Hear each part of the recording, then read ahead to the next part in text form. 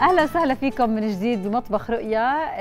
هلأ وصلنا لفقرة التغذية ورح نحكي اليوم عن البقدونس مع دكتورة ربا مشربش أهلا وسهلا فيك. أهلا صباح الورد. صباح الورد. كيف أهلا كيفك؟ ايمان كيفك؟ حبيبتي تمام. حلو. البقدونس والكزبرة يعني لا تخلو أكلة. صح. يعني إذا ما حطينا بقدونس نحط كزبرة أو ممكن. نحط التنتين أو صح. يعني نقدح بالكزبرة زي ما دائما. بنعمل. وفي ناس برضه بيستعملوا البقدونس برضه للتزيين زي ما عملت طيب إيمان. وزاكي طيب ومفيد. ومفيد. Okay. بالضبط. بدنا نحكي شوي عن فوائد البقدونس بالبداية. هلا البقدونس والكزبرة هم كتير متشابهين يعني مش؟ كتير في فرق بيناتهم بيفرقوا. بال... بال... بالطعم.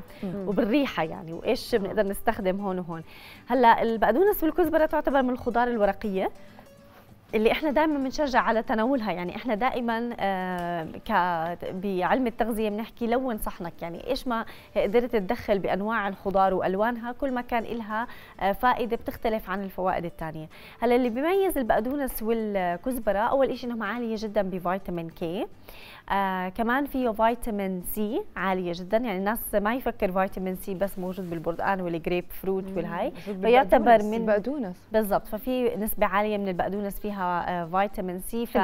فممكن مرات الأولاد اللي بيغلبوا بالأكل ما بيحبوا الفواكه نقدر نلاقي لهم فيتامين سي بالخضار بالمحلات الثانية. طيب فيتامين كي بإيش بفيد؟ اللي هلأ؟ فيتامين كي كثير مهم لالتئام الجروح. يعني عادة لما الواحد ينجرح أو كذا في عنا فيتامين كي مهم لتكوين هدول المواد لما يسكر الجرح.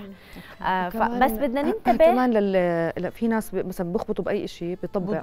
آه بيطبع. آه ما هو فيتامين كي بي- بخليهم لالتئام الجروح والهاي هذا كثير هاي أهم وظائفه لفيتامين كي آه بس كمان فيتامين كي بدنا ننبه إنه الناس اللي عندهم مشاكل بي بياخذوا مميعات الدم ما لازم يزيدوا الخضار الورقية بكميات مش متعودين عليها يعني فجأة ما بياكل تبولة يصير ياكل صحنين ثلاثة تبولة مثلا ليه؟ لأنه عاده الفيتامين كي بيتعارض مع مميعات الدم طبعا لأنه فيتامين كي بيجلط الدم هذاك بالضبط. بيميع الدم بالضبط. فهدول اللي يعني okay هو مفيد جدا ولكن في بعض الأشخاص اللي بياخذوا هاي الأدوية إذا هو متعود دائما ياخذ تبولة okay بس ما يزيد فيتامين كي فجأة زيادة عن اللي هو متعود عليه. اللي المفروض مزبوط. ياخذوا دائما طيب. وكمان في عنا ال folic acid. آه، دائما إحنا بنشجع الحوامل بأول ثلاث أشهر من الحمل يركزوا على حمض الفوليك اللي هو من ال vitamins المهمة جدا لتكوين النخاع الشوكي والجهاز الدماغ والجهاز العصبي عند ال baby بأول ثلاث أشهر. فبنشجع دائما ال- ال- الحوامل إنهم يتناولوا الخضار الورقية بشكل عام وبدخل من ضمنها ال- البقدونس والكزبرة. مم. وفيهم كمان الزيوت الطيارة والمواد المضادة للأكسدة. حلو. وفي إشي بيميز شوي الكزبرة آه، أكتر شوي من البقدونس. برضه البقدونس نفس الفائدة بس الكزبرة أكتر إنه كتير مفيدة لمرضى السكري وارتفاع ضغط الدم. أها okay؟ ف أصلا البقدونس عالي جدا بالبوتاسيوم وهذا مهم جدا لمرضى ارتفاع ضغط الدم. وعندنا الكزبرة في عدة دراسات أشارت إنها ممكن تساعد المرضى السكري تنظيم نسبة السكر في الدم. فممكن أكلهم حتى على السلطة إذا بدهمش يحطوا خس لحاله يحطوا خس مع كزبرة مع بقدونس. برضه هذا بيساعد إنه ينظم نسبة السكر في الدم وارتفاع ضغط الدم. فهدول الفوائد اللي أكثر شيء موجودين فيها.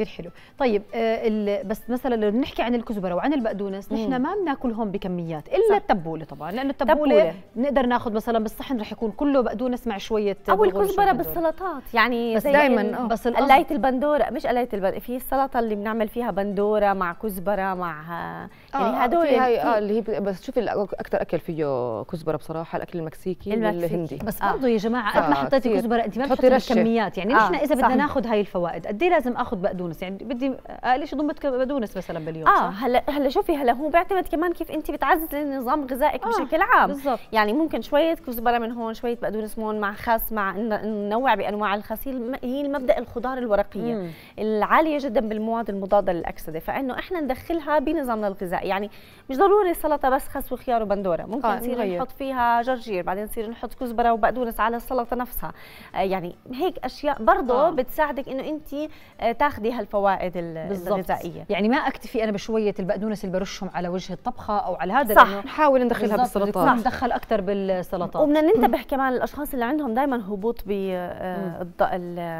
بالسكر في الدم أو بياخذوا أدوية كثير كمان ما ياخذوها زيادة عن اللزوم مم. يعني كمان لأنه الكزبرة بتنزل السكر هلأ هي آه. مفيدة لمرضى السكري بس برضه آه، إذا هو دائما عنده هبوط بالسكر أو مش منتظم ينتبه. لهي الكميات مم.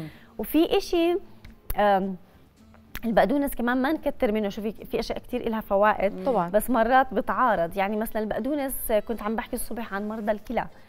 آه الب- البقدونس عالي جدا بالبوتاسيوم. فهو مفيد okay لكثير من الأشخاص اللي بيعانوا من أمراض قلب وكذا. بس إذا آه عنده البوتاسيوم عالي بالفحوصات الطبية بده مثلا يقلل من تناول البقدونس okay. طيب آه، كثير من الناس كانوا يغلوا شرا يغلوا البقدونس آه. ويصفوه ويشربوا مية البقدونس. وكانوا يقولوا إنه فيها كثير فوائد للبشرة للجلد. هل مم. هذا الحكي صحيح ما في مشكلة مم. لا بقدر بس بس بتروح الفائدة هاي أنت عم. تغلي من هذا اللي بسأله يعني يعني لما تغلي ميه البقدونس انت بتروح. أنت البقدونس واخذت المي هل. باخذ الفوائد ولا مش رح يكون فوائد مثلا بشجع كثير ناس إنه آه ياخذ يشرب مي أكثر يعني في ناس بتلاقيهم بيشربوا أكثر مي إذا نقعوا الخضرة أو إذا أخذوا سوائل يعني فواكه- باخذ سوائل مفيدة بالآخر بس مثلا آه، في بعض ال- ال vitamins اللي بتتأثر زي فيتامين سي آه. بس بوتاسيوم آه، المعادن الثانية بتنزل بمية السلق أو الغلي وبنستفيد منها كمان. نستفيد منها. آه, آه طيب مش كل يعني ال- يعني مش كل ال- على حسب نوع الفيتامين. في vitamins كثير بتتأثر بالحرارة. زي السي دائما. وزي آه والأكسجين وال- وعلى حسب نوع هذا. الفيتامين. بضل في نسبة فوائد بس مش زي لما تاكلي. أكيد خضار ورقية لحالها. لأنه كمان الألياف اللي لها دور كتير كبير ما ما بتحصلي عليها في مية صح البقدونس صح 100% أو مية. بس بدك تعملي سلطة آه سوري بدك تعملي شوربة مم. تستفيدي طبعا طبعا هذا. الحلو إنه البقدونس مم. فعلا ال- ال- التبولة حلت لنا الموضوع بالنسبة للكزبرة هلا تذكرت أنا مرة دقت سلطة كزبرة كتير زاكية بصلة بتقسميها صغير صغير وكزبرة. كتير لا لا كزبرة كزبرة. وبصل آه وبتحطي عليهم ليمون وزيت زيتون وشوي ملح كتير زاكية. آه، بيعملوا سلطة. جرجير مثلا. وجرجير. سلطه تشبهها بقدون إيه، ب- في. في سلطة البندورة والكزبرة وال شو تذكرت لا، وفي ناس- بعرف أنا ناس كزبرة وبصل زاكي آه. وفي ناس مرات بيعملوا زي يعني زي التبولة بيحطوا بقدونس وكزبرة ونعناع. آه، يعني أنا بعمل. سلطة برغل عملناها هون على الهواء.